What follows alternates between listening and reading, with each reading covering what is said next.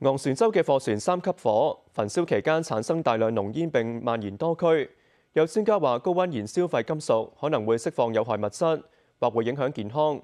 有區議員就批評政府發放空氣污染嘅信息太慢。喺昂船洲對開起火嘅貨船所燃燒嘅濃煙飄散多區，近至深水埗、遠至荃灣同埋沙田都有人話見到有煙或者聞到燶味。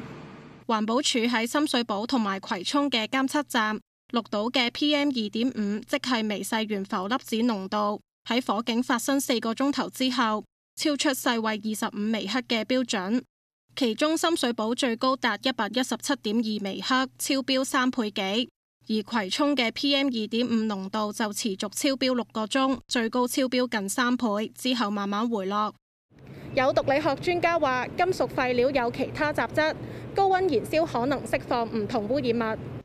專家話聞到刺鼻氣味係一個嚴重警號，好似一個焚化爐咁一樣，就會有好多唔同嘅雜質。其中一樣有害或者致癌物質咧，就係二惡英啦。一去到有啲異味啊，或者係其他刺激嘅性嘅味道嘅時候，即係個身體已經會有一個反應。如果係濃煙咧，係含有有毒嘅氣體、有毒嘅化學物質，咁而佢哋嘅懸浮嘅粒子係太過細嘅話咧，經過呼吸系統，我可以直接入肺啦，同埋誒入血嘅。咁而呢啲咧，其實就會影響我哋嘅呼吸。佢形容今次貨船燒近十五個鐘頭屬於罕見，又話有毒物質可能仍然殘留喺環境入面。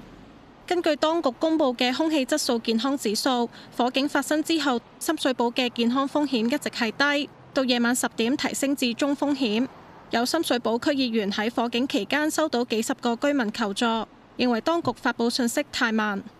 嗱，環保署咧正正就係有監察空氣指數嘅一個咧作用喺呢度，佢提出嘅指標其實正正可以我嚟提醒街坊，呢個咧正正就係佢哋最大嘅責任，而佢哋冇做到就係向街坊適時及時咁樣公布相關資訊。